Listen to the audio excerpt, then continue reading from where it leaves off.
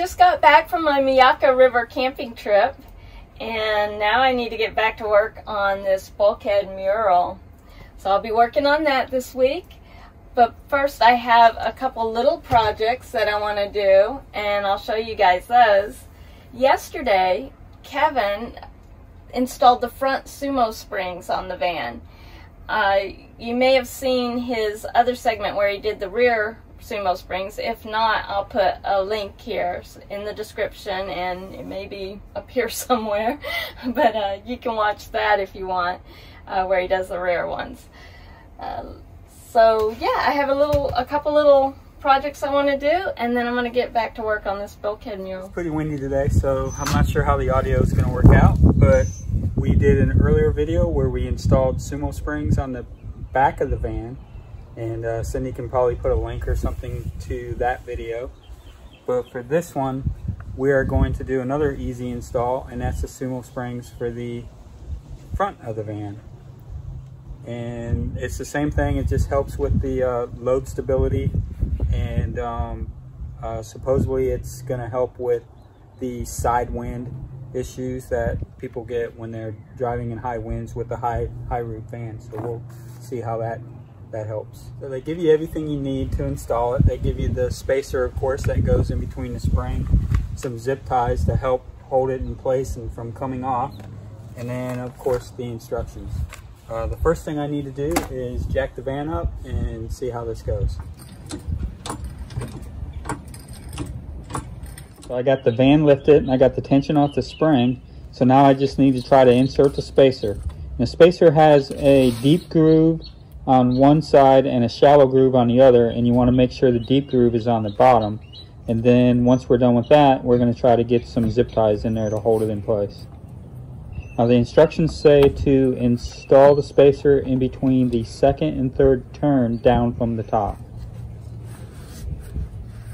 Alright, so getting these zip ties in might be a little bit tricky. I can rotate this around back to where I need it. So I'm just going to pull it down and get each one of these started before I cinch them down.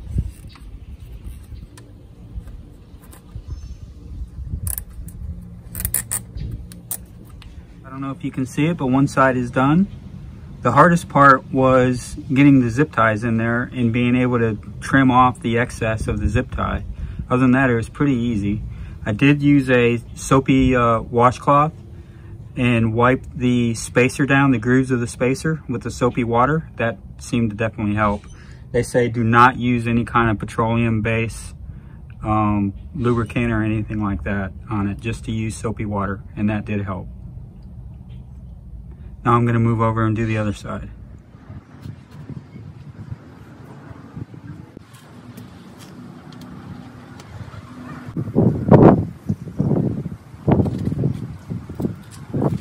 All right, so the other side's done. One thing they talked about is making sure that both sides are positioned the same and in the same uh, turn of the spring. So I tried to put it about the second and third turn down from the top. That's what the instructions said.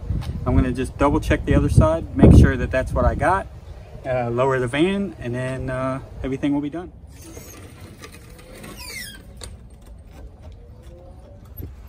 All right, so that's it for the install of Sumo Springs in the front of Cindy's Transit van.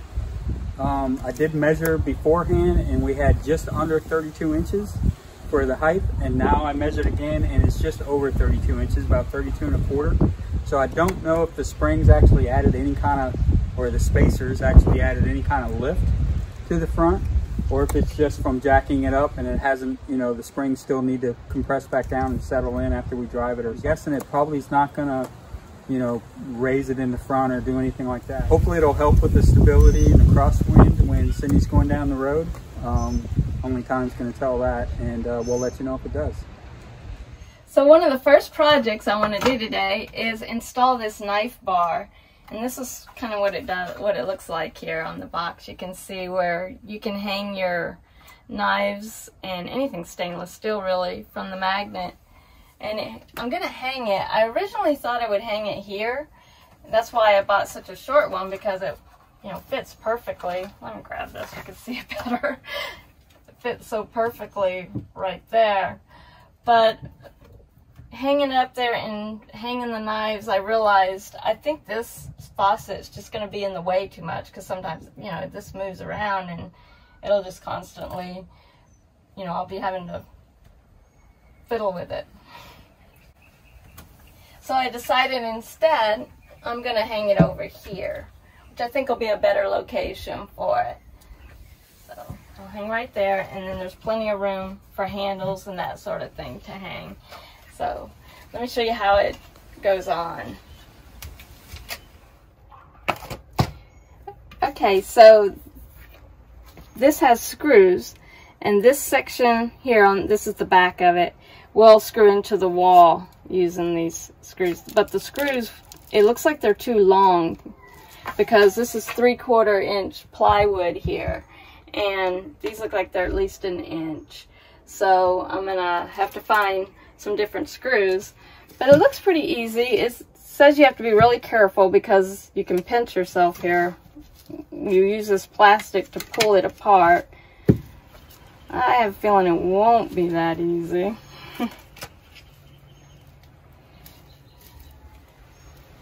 okay, yeah, it's strong. Alright, I may get Kevin to help me hold this while I pull it up so I don't pinch my hands, and then I'll get back to you. Okay, so I just had Kevin hold the base, and then I pulled on these, and it came off pretty easy that way. Because these little edges, that run along here look like they'd be very sharp. And if you've got your skin in between that and this backing, I think you could easily cut yourself. So since he was here, I got his help. All right, so now this plate is what's gonna get screwed onto here. And then we'll just put this magnet facing on top of it. Doesn't get any simpler than that.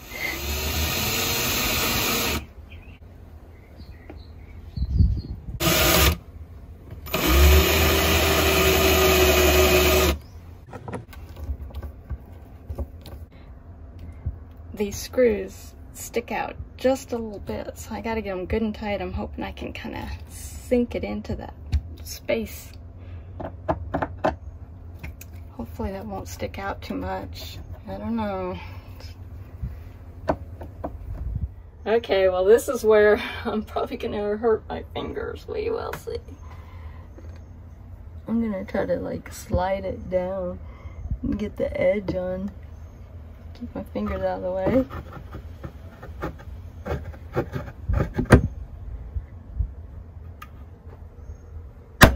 Oh my oh. gosh, if my fingers had been in there, that would have hurt.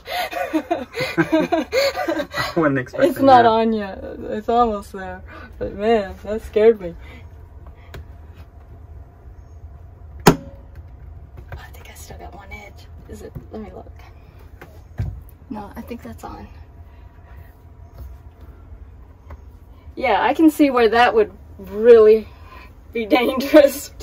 but it's on there now. So, well, let's stick some something on there.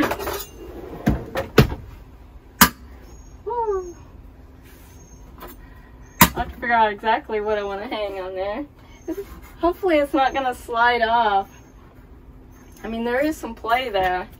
But I think that's because this knife is slightly beveled in. But it's got some force. Hang it that way too. Ooh, it actually seems to hang better that way. But then I I don't know.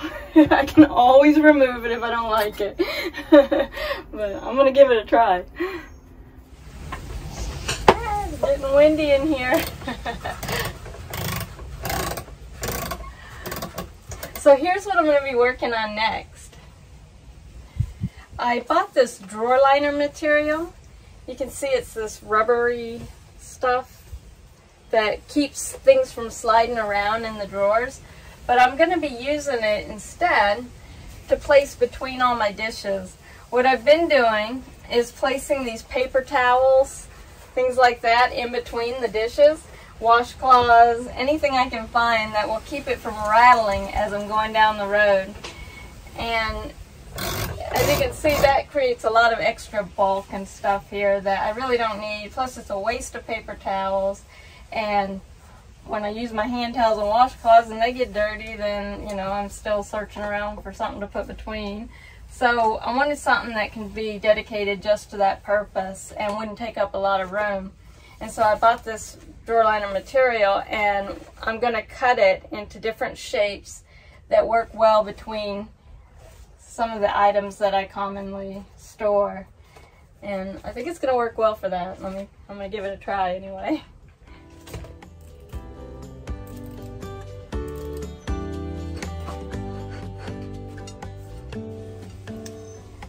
Yeah, this is going to work really good for these plates. This is a 10 by 10 inch piece that I cut out. And man, it grips them. And so there is not, they are not going to rattle. That's going to work good. So let me see if I can go smaller for the bowls.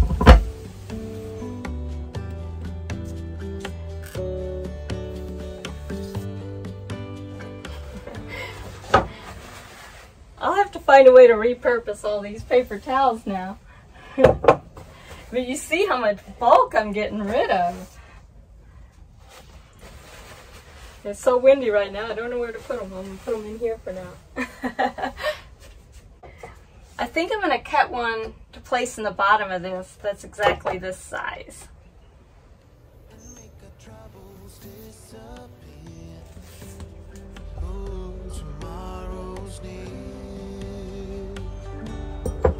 It's gonna be okay,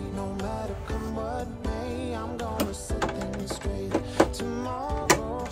Let all our worries fade, let them sweep away. There'll be another day tomorrow. Oh, oh, oh. I think this is gonna work out a lot better.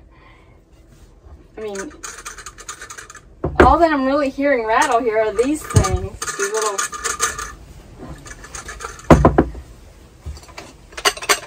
there's some rattle in there. But see, whenever I can't get it, I can just do this. I have extra. So let me go with a little, little bigger one.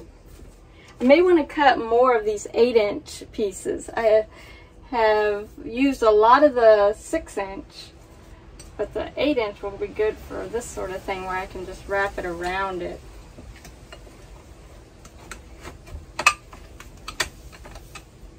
And then I just stuff the extra in wherever.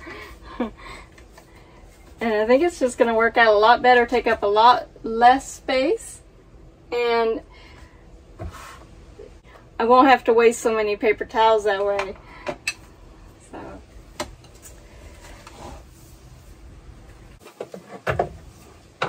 This paper towel thing here is driving me crazy. I bought the one that doesn't spin and unravel. Here, let me show you. I bought the one that it doesn't unravel this way because it's kind of ratcheted, but what's happening is it's blowing to the side and unraveling like this. So I'm gonna have to put something here that'll keep it from doing that. I don't think that'll be difficult to figure out a way to keep it from coming off this edge. a future project that I want to do is add a shelf in here because I have the room as you can see up above. But I use this spring-loaded bar, this kind of bar right here, and I stretch it across here and it holds everything in. I probably don't actually need that bar across there. It just gives me that extra bit of protection in case when these doors are closed, if something were to hit them, it might pop them open. And instead they'll hit this and it'll slow that impact down and keep that from happening is my thought. It's been working out well, so I'm just gonna keep doing it. Here you can see I have a colander. Let me show you that. It's a little collapsible colander, so it takes up very little room. It's made out of like a silicone and a plastic, and it just collapses. And it's been working really good. those, those have been watching my videos a while know I like my pasta, so I had to have a colander. And my other colander took up so much space. I'm glad to have this one now.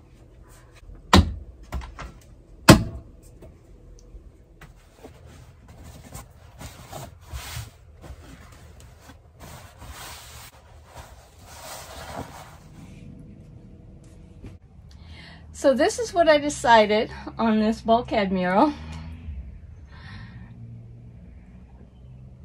I feel like to keep this kind of thing going across the entire wall is going to overwhelm this small space.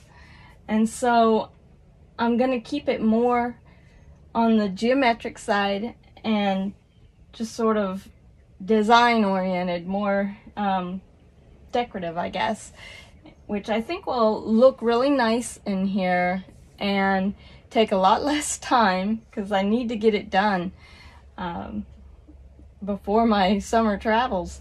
So I'm going to keep working. You can see here I've already started some of the more geometric elements and I'm just going to keep working up the wall and see where it takes me. shape. There's a million ways to mess things up, and I need some time to figure out what to say and make our troubles disappear.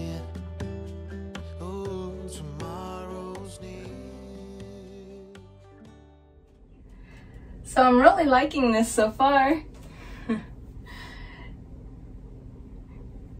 I really like how the black and the white and the middle gray play off of each other. The contrast is really nice. And I think I'm going to keep everything fairly monochromatic. And once I kind of get that grid structure laid in, I'll start working in some patterns. I'm just going to create a design across here that will allow me to, if I want, bring in my drawings and hang them on the wall and then fit right in.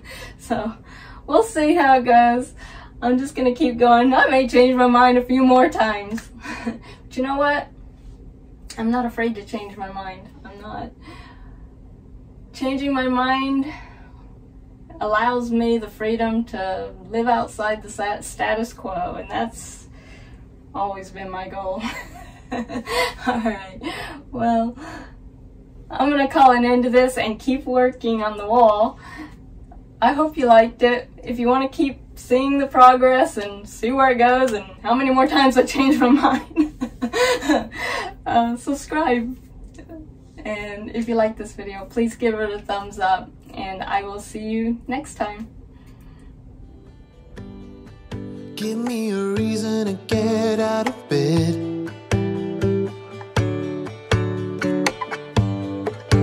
I need a minute to think, or maybe two. Cause yesterday I lost control and said some things I felt that you should know. I need a day to clear my mind.